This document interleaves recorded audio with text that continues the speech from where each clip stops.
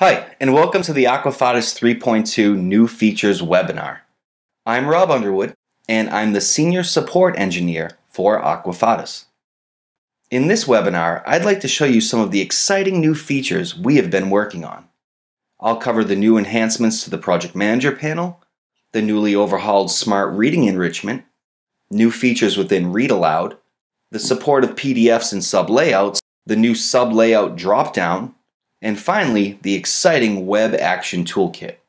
Let's get started. Let's begin with some of the simpler new additions, and then we'll get to some of the more wow features. The AVE Interactivity panel is now separated into four different sections. There is the AVE Mag, AVE PDF, EPUB Reflow, and EPUB Fixed sections now. This means that when you make a new project and begin adding interactivities, we have separated the interactivities into four sections so that you, as a user, will know which interactivities will work in the type of project you are building. For example, I have an AVE Mag project selected. When I build a frame and expose the AVE Interactivity panel, the AVE Mag tab automatically becomes selected because I define this project as AVE Mag. You will notice that Reflow and Smart are grayed out. This is because those types of enrichments are not supported in AVE Mag. This is a simple addition to our toolset, but a much needed one. This lets a user know from the start of a project what interactions are supported in the four different outputs we support. Organizing your projects is now made simpler by the addition of folders in the Project Manager panel. You can now make folders based on your publications. For example, I could make a folder called Aquafadas Magazine. I could also make a project named February 2014 for the current issue. You can drag your projects into the new folders you create to make your project manager panel more organized. And don't worry, if you drag projects into the new folders, it doesn't physically move your InDesign documents from their current path on your computer or server. These folders are just for grouping projects, and projects can be moved in and out of the new folder feature at any time. Finally, the AVE Interactivity panel now contains a Get All Assets button. When you open the Interactivity panel with nothing selected, you will find the Get All Assets button. This was a special request from some of our customers that wanted to create a CSV file of all the assets used in a project. When you click on the Get Assets button, we run a script to identify all the assets used both in the InDesign document and within our enrichments. This is helpful because the links panel in InDesign does not list any links used within our enrichments, such as movies or the slides of a slideshow. Once this is done running, you can export the CSV file for review in Excel. The new Smart Reading Enrichment makes it easier than ever to add this enrichment to your interactive documents.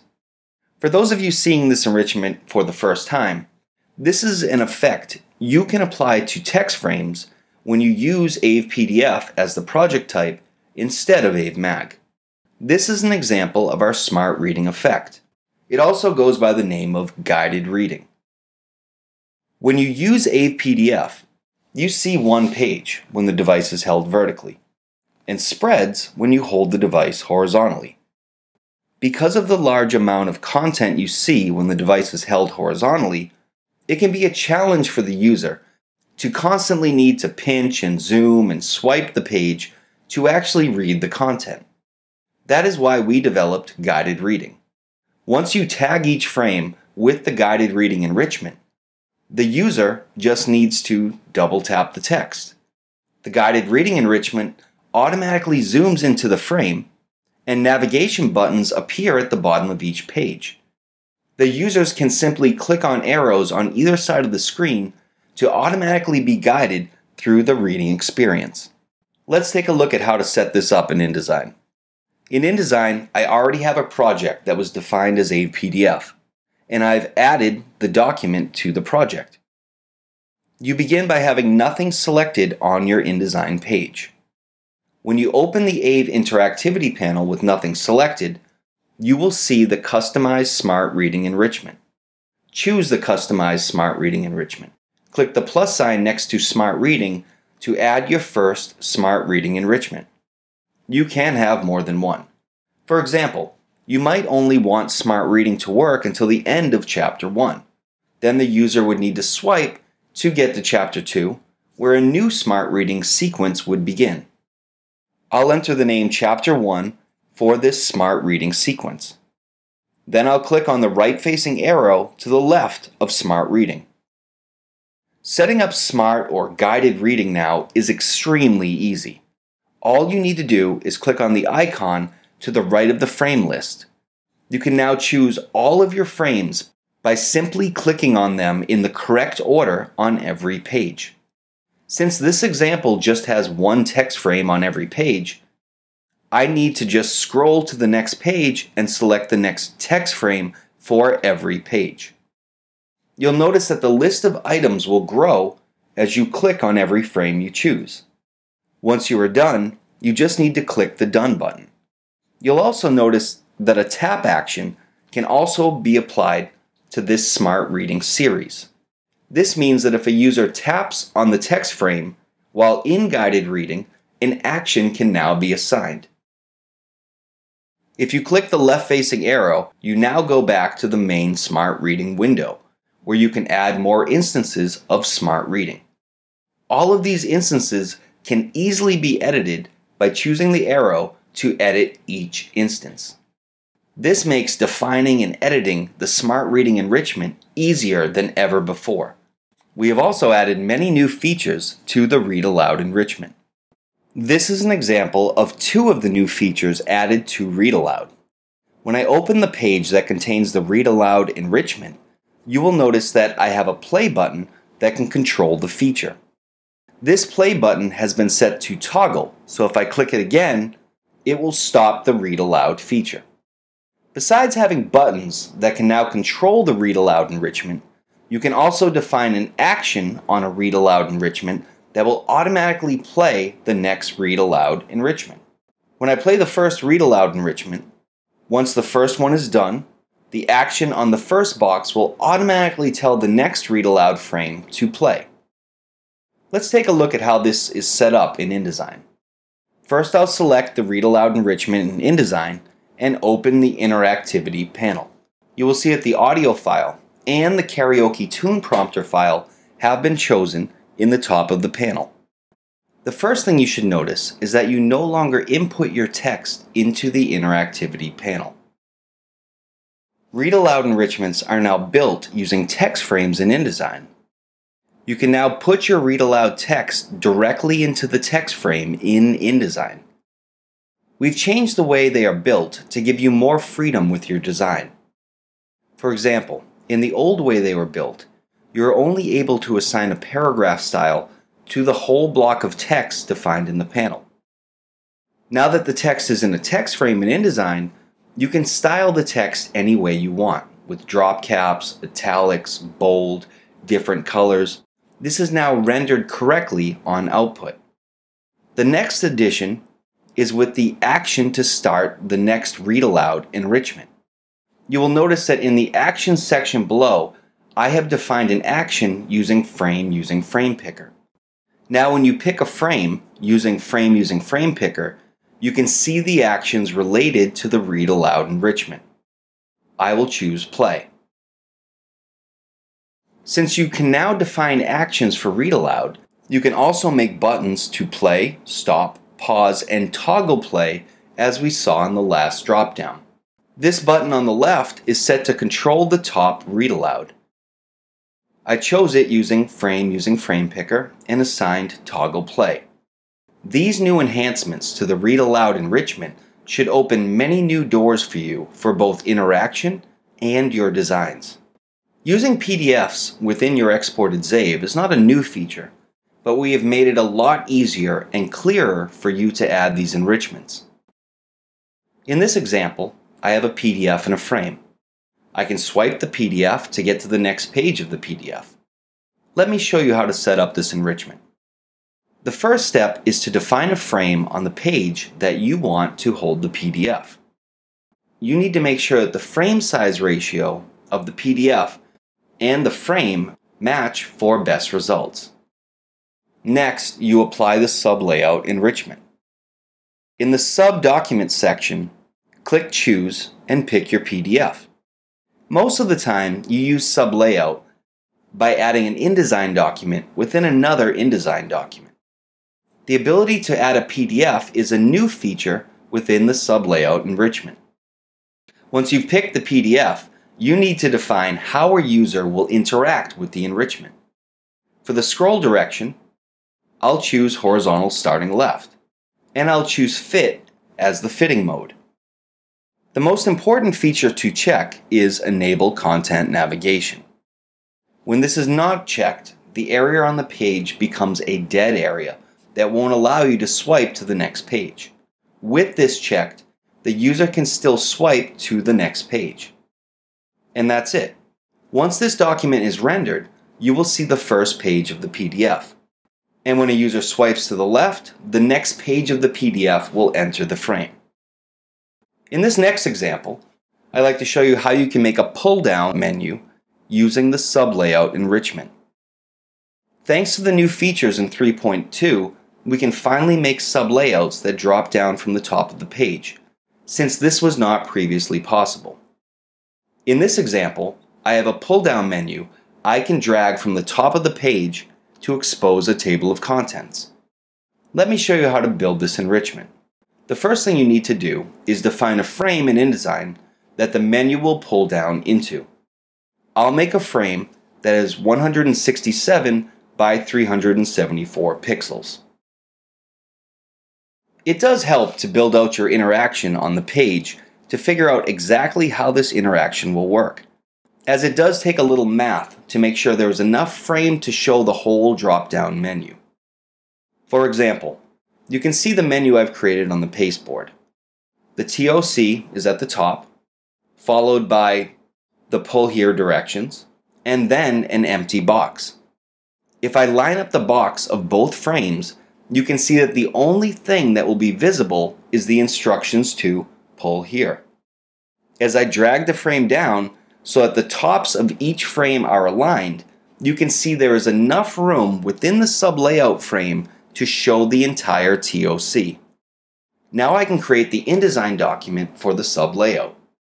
First, I'll copy the content I created and note its dimensions. I'll make a new document in InDesign to those dimensions. The width will be 167 and the height will be 700. I'll uncheck facing pages and also remove the margin. Now I can paste my content into this InDesign document and save it and close it. Back in the parent document, I can place that InDesign file into the frame. I can use the white arrow to line it up properly. Now I can apply the sublayout enrichment. The newly added feature is actually for the scroll direction of vertical starting bottom and fitting can be left to fill with scroll. When this enrichment is rendered, the frame automatically fits the content to the bottom of the enrichment vertically, showing only the pull here command. When a user drags down the menu, the TOC is exposed. And finally, I have one more new enrichment to show you, and I believe this one is the most exciting. We have had customers using HTML to create a variety of engaging enrichment since we began. However, the one thing customers always wanted to do was to have a way to control actions within your document from within the HTML you created. And I can finally say that we have added this feature. This means you can make buttons within your HTML that can launch any action, such as show or hide, go to page. Nearly everything you can do with enrichments can now be controlled by actions set in your own custom HTML. Let me show you how to set this up. When you apply the HTML enrichment, you will now see within the enrichment that you can download the Web Action Toolkit to learn how to create your own actions in your HTML page. You can begin by downloading the Web Action Toolkit and unzipping it. In the expanded folder is a README file that explains the basic setup. There are two JavaScript files that must be contained in your HTML folder. In order for the JavaScript to work in your HTML, you must include the following code in your HTML header. And finally, you can create custom action buttons using the HTML code. There are two DPE files you can import as projects into the Project Manager panel to test out this new interaction. I have loaded the simple web action DPE into my Project Manager panel for an example. This is the ZAVE file exported to my kiosk. You can see that if I click this button in the HTML, it shows or hides the frame on the page. Now let's delve deeper into how this is set up. In InDesign, you can see that I am pointing to a folder that contains the HTML. If I look at that folder, the first thing that you can see is that the two JavaScript files are contained in that folder and the graphic button.png. Now I'll open that HTML file in Dreamweaver you can see the added code for the JavaScript has been added into the HTML header section. You can also see that the action and the button graphic have been added to the body section of the HTML. The action has been named My Action. You can add as many actions and buttons as you wish with different names. Now let's go back to InDesign. Because my HTML document is named index.html, that is what is defined in the main HTML page section. You will need to change this name if your HTML is named differently. The last step is to define your named actions in the action section. When you create an action, within the action section, the name of each action must correspond to the name action you set up in your HTML. You can see that my action ID is set up as my action, just as it is defined in the HTML.